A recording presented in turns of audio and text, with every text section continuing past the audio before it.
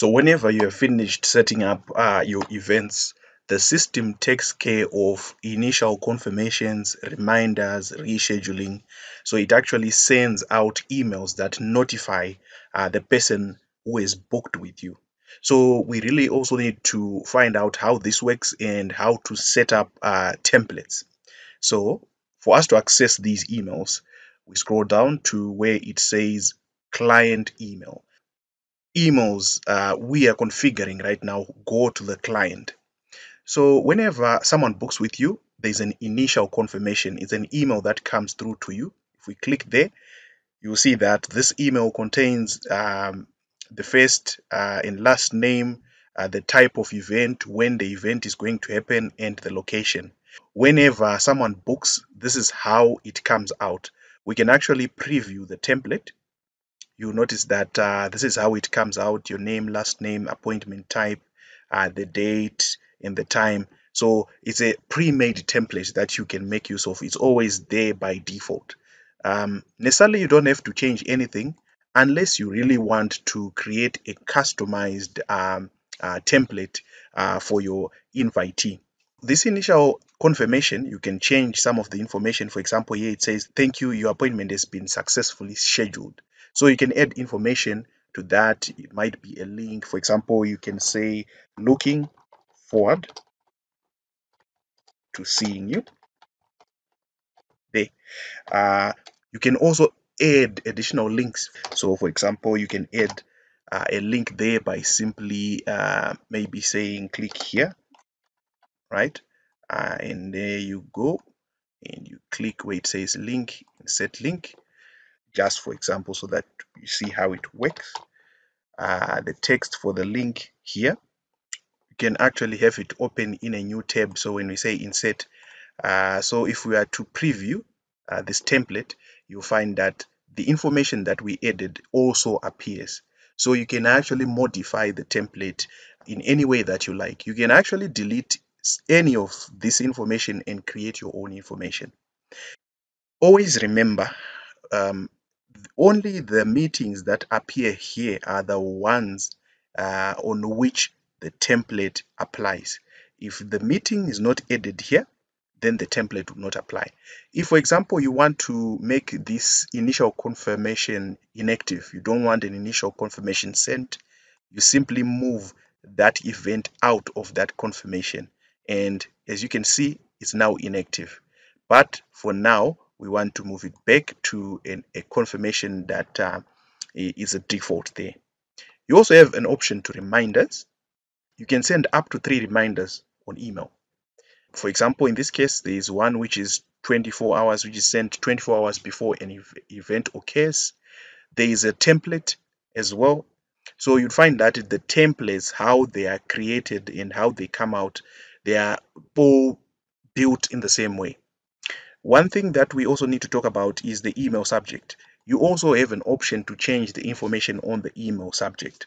We're going to talk about uh, these variables uh, in a bit, but generally you can also change the email subject. You can even uh, put any information you want there and any variables that you'd want there. So in this case, you want to add an extra email. You simply click here where it says extra email. So it will send a 24 hour email, right? uh, we can have it send maybe an email three hours before. Here it also says send this to clients only, but you can also have the same email sent to admins and clients at the same time. Once you do that, you save. So as you can see here, you now have a reminder going three hours before an appointment and one going 24 hours before an appointment. But there is a limit of only three reminders on email. There are also cancellation emails. You can also tailor make uh, the, the, the message itself. Uh, you can delete everything here and just write a message uh, to say, we're sorry to see you go or something like that, uh, just to provide the information to the client. There's also an option for rescheduling. If someone is to reschedule their appointment, then the system automatically sends this message to say you have uh, rescheduled your appointment and these are the new details. So remember uh, here where it says location, it either can be Zoom or a physical location or any integration that we've made uh, like uh, Teams or Google Meet. It will appear here and the, the link will actually appear there when someone books with you. If you want to make follow-ups after you have finished uh, with a meeting, you just come here to where it says follow-ups. On these follow-ups, you can create custom emails that, for example, you want to find out how the person felt about the meeting that you had, or if they have additional questions, or you want to send them links, you create this email by customizing follow-up emails. Remember, like we said, you can just tailor make it in any way. Remember this box, uh, you can type anything here, dear, and you write more information on that. These email structures can just be built from scratch. You can actually create one from scratch.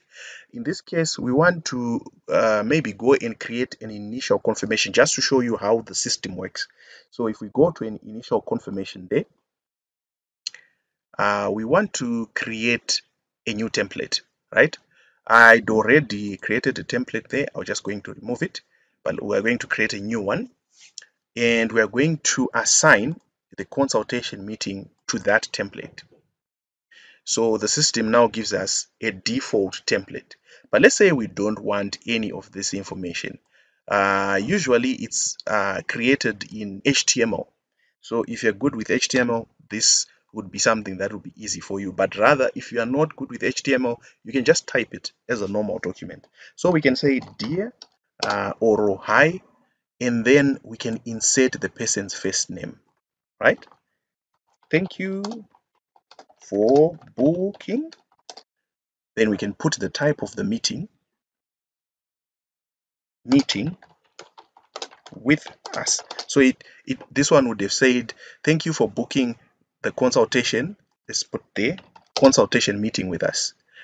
We can also put more information on that. For example, things like the date and the time. You insert another field as in on the date, right?